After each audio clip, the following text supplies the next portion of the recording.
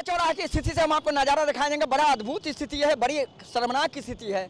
पटना नगर निगम के कर्मचारियों ने पटना शहर के सारे कचरे को डगमंगला चौराहे पर फेंक दिया। आप देखिए क्या हालत है। पूरे डगमंगला के इलाके में बदबू फैली हुई है। पुलिसकर्मी यहाँ किसी तरीके से यहाँ काम कर रहे हैं और लगातार परेशान हैं। अब हम आपको दिखाना चाहें किस तरीके से पुलिसकर्मी काम कर देखें। नाकों में उन्होंने कह सकते हैं कि मास्क लगाया हुआ है। पूरा डाक बंगला का जो इलाका है, पूरी तरह से महक रहा है।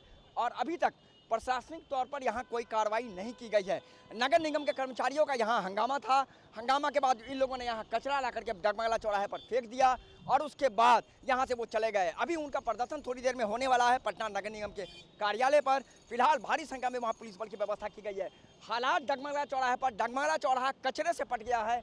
कहा यही जा सकता है कि अभी अगर इसकी बात करें तो ये कचरा चौराहा कहा जाए तो अतिशक्ति नहीं होगी और पूरी तरह से लोग परेशान हैं।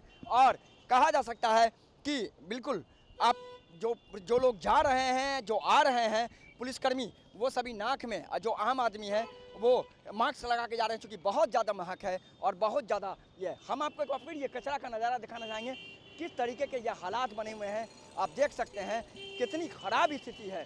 पुलिसकर्मी जो है, वो लगातार मास्क के साथ साथ लोग यहाँ से गुजर रहे हैं, वो भी लगातार परेशान है और स्थिति बहुत ज़्यादा कह सकते हैं कि गंभीर है। बिल्कुल जो हालात है उस हालात के तहत कहा यही जा सकता है कि कहीं न कहीं जिस तरीके से नगर निगम के कर्मचारियों ने प्रदर्शन किया था और जिस तरह से नगर निगम के कर्मचारियों ने हंगामा किया ये अपने आप में बड़ा ही अच्छा। कितने बजे आए थे प्रदर्शन करने? करीब सात साढ़े सात बजे। सारा कचरा यहाँ पे दिया? हाँ तो तो हड़ताल को लोग किए हैं।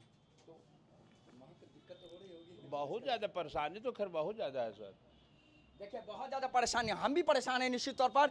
जिस तरीके से पूरे डकबंगला के इलाके में दुर्गंध फैली हुई है, शायद अभी तक कोई प्रशासनिक कार्रवाई नहीं की गई है। और फ़िलहाल ये जो नज़ारा है पटना के डगमला चौराहे का, बड़ा ही शर्मनाक नज़ारा एक बार फिर हम आपको ये दृश्य दिखाना चाहेंगे। निश्चित तौर पर कहीं ना कहीं लोगों को और जो पुलिसकर्मी हैं, जो ट्रैफ़िक कर्मी हैं, उनको भारी मुसीबत का सामना करना पड़ा है और कहीं ना कहीं स्वास्थ्य पर इसका एक बुरा प्रभाव पड़ने जा रहा है। अपने सहयोगी कैमरा पर्सन प्रकाश के साथ डगमला चौराहा से मरगूब आलम, पटना।